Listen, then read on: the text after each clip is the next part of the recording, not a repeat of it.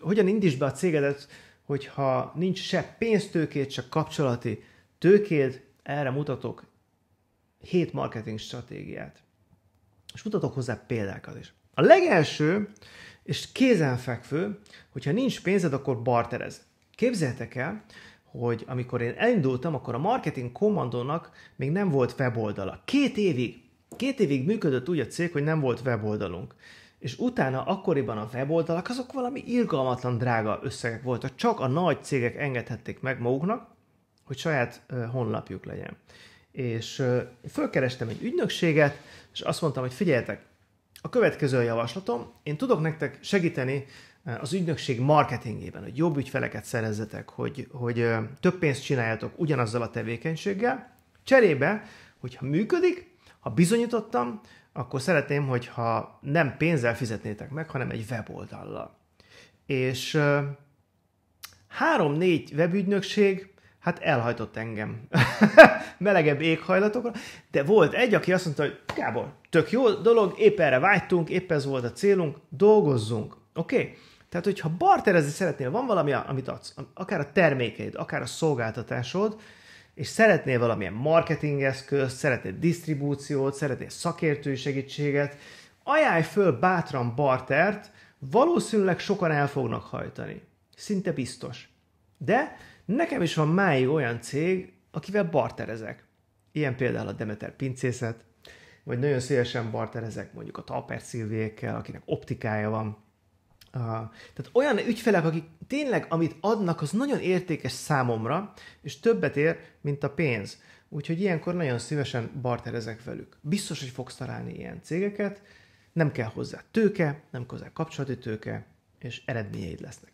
A második pont az egy csodálatos marketing koncepció, az úgynevezett előrendelés.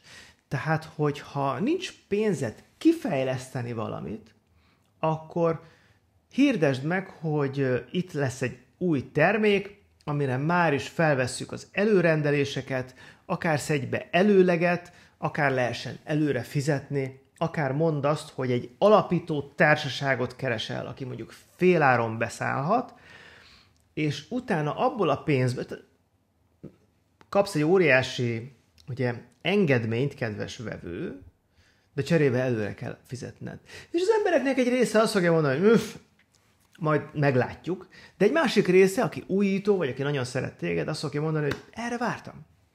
És megfinanszírozzák a termékfejlesztésed. Ugye manapság már ez egy kicsit fejlettebb módon működik. Én nekem így kellett annó konferenciát indítanom, hogy a konferenciának még a, a helyszín bérleti, vagy lefoglalójára sem volt pénzem, de meghirdettem, hogy figyeljetek, csinálunk egy ilyen konferenciát, aki kvázi alapító tag, az most féláron megveheti a jegyet csöndben, és, és ügyfelek jöttek és fizettek, és én el tudtam belőle indítani a, a, a konferenciának a foglalását, a technika foglalását, stb. Ma már vannak ilyenek, mint az Indiegogo, meg az egyéb közösségi finanszírozású oldalak, ezek erre vannak kitálva csodálatos, például Lévai Ricsi egy közösségi média tréninget úgy uh, hirdetett meg, hogy az Indiegogo-n lehetett rá előfizetni. Szóval ezek működnek. A harmadik az az, az MEL, vagy más emberek listája. Tehát, hogyha te most kezdesz, akkor valószínűleg az iparágatban, vagy pedig a, a, a piacodon találhatók olyan szereplők, akiknek már hatalmas listájuk van. Vevőlista, követőlista, e-mail lista, és hogyha találsz egy olyat, aki mondjuk nem konkurens, de a listájukon a te célközönséged van ott, akkor azt használhatod. Tehát én például, amikor életemben először elkezdtem uh, olyan cégeket keresni, akiknek a rendezvényeim vállalkozók ültek, akkor bekopogtam, és azt mondtam, hogy figyeljetek, szívesen tartok egy előadást ingyen, meg kell, hogy mondjam, hogy az én előadásaimnak a végén van egy értékesítési prezentáció, és a színpadról eladok. És minden, amit a színpadról eladok, a bevétel fele a tietek. Deal? Akartok egy ilyen előadót? És egyszerűen oda voltak. A többségük azt mondta, hogy Gábor, ez egy óriási találmány, még soha senkitől nem kaptunk ilyen ajánlatot, gyere és adj elő. És nagyon sok eladást és előadást tudtam itt tartani. Az ő ugye a konferencia szervezőnek a listájára ezt kinyomták, tulajdonképpen a nevemet ezeken kezdtem el építeni. A, negyedik pont az valamilyen kooperáció. Tehát fogj össze olyan cégekkel, akik ugyanazt a célközönséget szolgálják ki. Saját példa, nekünk ilyen volt a marketing medve, még viszonylag kicsik voltunk, ugye e-mail lista talán egy pár ezer fő, és összefogtunk egy páran, bedobtunk olyan tananyagokat, ami nagyon kezdőknek való. Sok esetben csali volt, és utána a szervező meghirdette ezt, mint egy marha nagy csomagot. És összeadtuk a listáinkat. Mindenki bedobta a saját listáját, és így, bár kicsi játékosok voltunk, de az összeadott listánk, az összeadott vevőlista, érdeklődő lista, akkor még nem volt social media, de ha ma, ma lenne, akkor azt is bedobnám. Értitek? Fogjuk össze, hozzuk össze. És akkor, hogyha találsz egy pár partnert, akkor csináltok egy igazi rendezvényt, csináltok egy Zoom rendezvényt, csináltok egy közös promót, lehet egymásnak a termékei a, a, a, a kampányodban az én bónuszom, tehát egy csomagot össze lehet állítani. Sokkal több lehetőség van ebben, mint hogy pénzért reklámoz. Tehát képzeld el, hogy mondjuk összefog egy ügyvéd, meg egy pénzügyes, egy könyvelő cég, és azt mondják egymásnak, hogy hívjuk meg egymás ügyfeleit, te beszélsz cégalapításról, meg cégstruktúráról, én beszélek adóoptimalizálásról, és már is össze tudják hozni az ügyfelek, megduplázták az ügyfélszámukat. Az ötödik pont egy nagy kedvencem, te utálni fogod, kivéve egy páran, akik erre rászállnak, az a telemarketing. Figyeljetek, én így indítottam be a marketing kommandót, telemarketingeztem, fölhívtam cégeket, leültem szépen, és reggel 7 és 8 között, mert rájöttem, hogy a vállalkozók akkor érhetők el. Um, ülnek a kocsiban, mennek éppen a, a... Nagyon, nagyon sok ügyfelet hívtam föl kocsiban, és mondtam azt, hogy figyelj, az az ajánlatom, hogy segítek a marketingedben, mivel még nem ismerjük egymást, az az ajánlatom, hogy mondjuk van valami minimális díj, de igazából sikerdíjért dolgozom. Tehát, hogyha elérünk egy adott célt, akkor abból adsz egy részesedést, vagy egy valamilyen bónusz, vagy valamilyen tanácsadó díjat. Azért van belépési díj, hogy a komolytalanok ne vigyenek el. Érdekel ez a konstrukció. Nagyon sok mindenkihez így jutottam be, nagyon sok mindenkihez ez volt tulajdonképpen a, a kopogtató terméken még, amikor nem ismertek. Uh, ugyanilyen ma a social selling. Tehát, hogyha valaki a közösség, a posztjaid alatt kommentál, akkor azt meg tudod szólítani DM-ben, PM-ben. Hello, mondom a csúcs kérdést. Én például a marketinggel kapcsolatban azt kérdezném meg, hogy figyelj, te vállalkozó vagy? Igen. Mi a legnagyobb problémád jelenleg a marketingeddel kapcsolatban? És akkor beindul egy beszélgetés, aminek a végén én tudom ajánlani egy termékemet. Na most, hogyha ezt megcsinálod, csak minden nap egy pár kommentálónak írsz, azzal elindul egy értékesítési ciklus. Ismered a filozófiámat nem, lehet, nem mehet le a nap anélkül, hogy ne adtam el volna valakinek valamit, vagy ne indítottam el volna egy új értékesítési ciklust.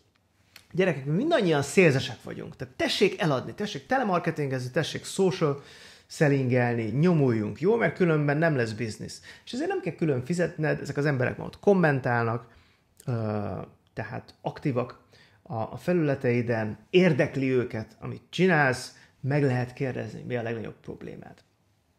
A hatodik, ez egy kicsit komplexebb, ez főleg akkor lesz érdekes, hogyha B2B-ben vagy. Mondom, hogy mi a sztori. A könyvmódszer zseniális. Kinézel mondjuk 20 céget, vagy 100 céget, akinek el akarod adni a termékedet, a szolgáltatásodat. És utána végighívod őket, de nem azzal, hogy akarjátok ezt megvenni, hanem azzal, hogy írok egy könyvet, az iparág legnagyobb játékosairól, és önöket mindenképpen szeretném meginterjúvolni erről a témáról. Tehát egy pénzügyes vagy, akkor pénzügyről. Hogyha logisztika vagy, akkor logisztikáról. Disztribúciós szakember, akkor a disztribúciójáról. És az első meeting az tulajdonképpen csak egy interjú. Egy páran azt fogják mondani, hogy nem, de egy páran azt fogják mondani, hogy én az iparág nagy spílerje vagyok. Igen, jelentős tényezője vagyok, gyere és interjúvolj meg.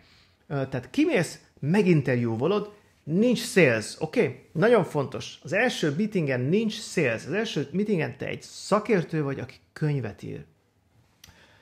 megcsinálod az interjút, megköszönöd, hazamész, megírod a könyvet, megiratod egy újságíróval, és utána visszahívod az interjú alanyt, hogy jó hírem van, elkészült a könyv, nagyon szeretnék egy tisztelet példányt elvinni, és találkozhatunk-e valamikor. Hát ebben mindenki benne lesz, elmész, megmutatod a könyvet, aláírod, és az az első pont, ahol pitchelsz, ahol azt mondod, hogy én úgy látom, hogy a, a cégnek a disztribúcióján több milliót meg lehetne takarítani, hogyha használnák ezt a Kaizen módszert, hogy van-e kedve arra, hogy csinálják egy felmérést, és utána adjak erre egy ajánlatot, hogy hogyan lehetne sokkal szorosabbra fonni, sokkal gyorsabbá tenni, és sokkal nagyobb pénzt megtakarítani.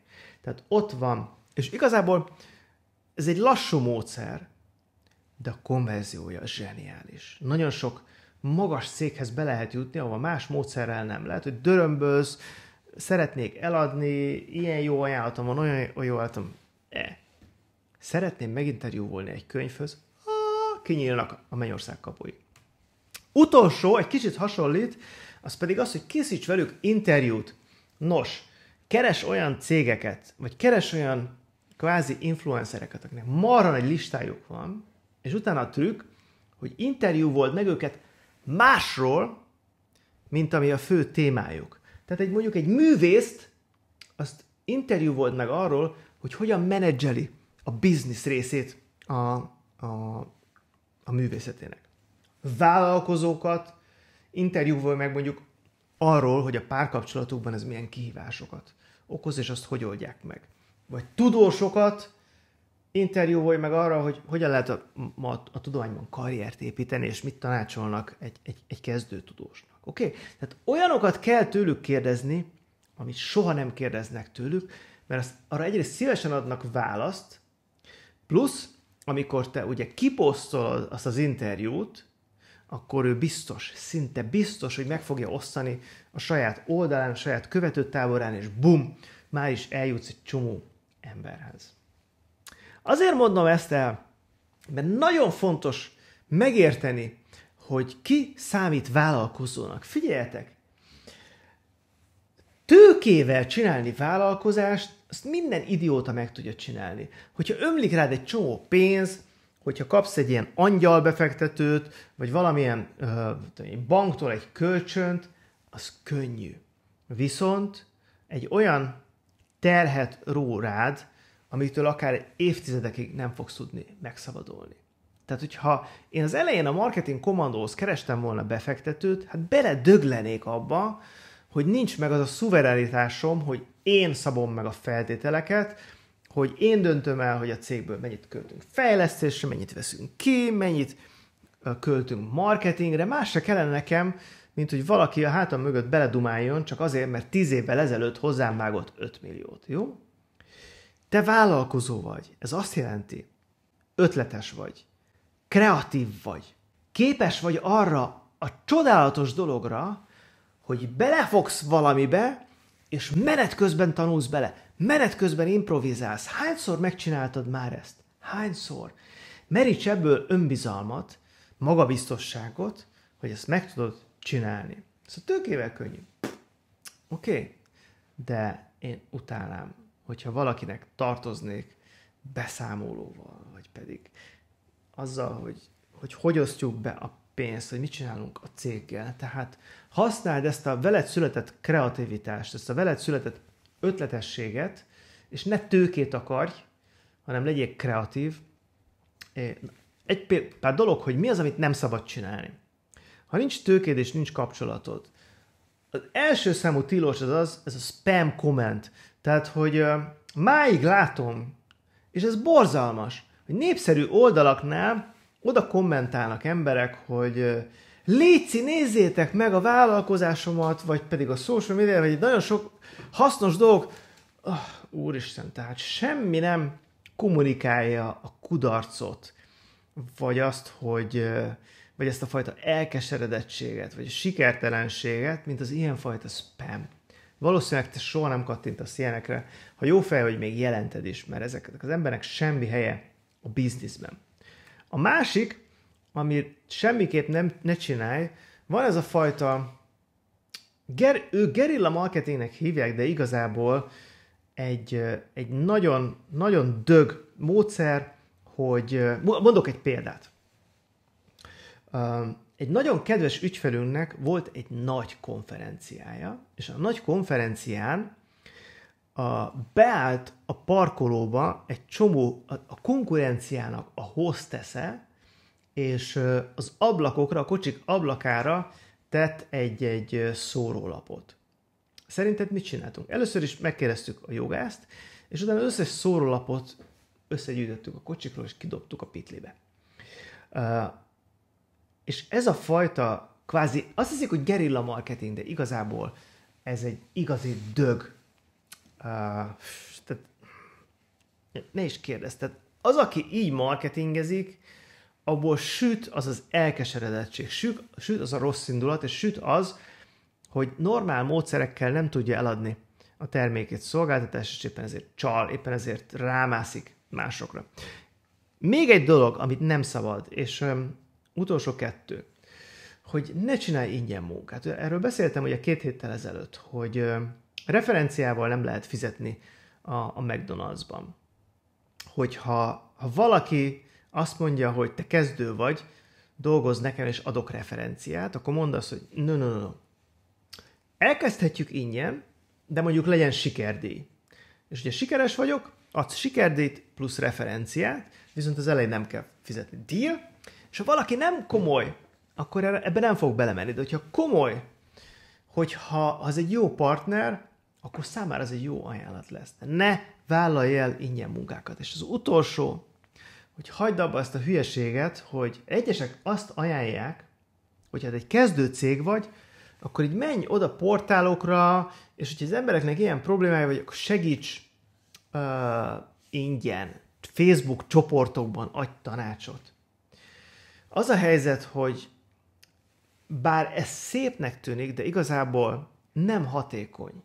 Tehát az életedet eltöltheted ezekben a csoportokban, és van egy olyan illúziód, hogy te teszel a cégedért, de igazából az csak egy illúzió, mert annyival kisebb a hatékonysága, mint hogyha azt az előző hét pontot csinálnád, amit az előbb javasoltam, hogy nem lehet őket egy napon említeni, jó? Tehát a fókuszod mindig az legyen, hogy eredmény, jó? Ne tévesszük össze az aktivitást az eredménnyel, jó? Tehát, hogyha bemész csoportokba és segítgetsz embereknek, az az érzésed lesz, hogy egész nap dolgoztam, egész nap segítettem, és három hét alatt fogsz szerezni talán egy ügyfelet, aki panaszkodik, és sír, hogy miért nem ingyen adod neki a, a, a, a pszichiátriai tanácsadást. Ezzel szemben, ha végigcsinálod a könyvmódszert, megcsinálod azokat, amiket tanácsoltam, akkor lesz igazi fizetős ügyfeled, mégpedig hatékonyan.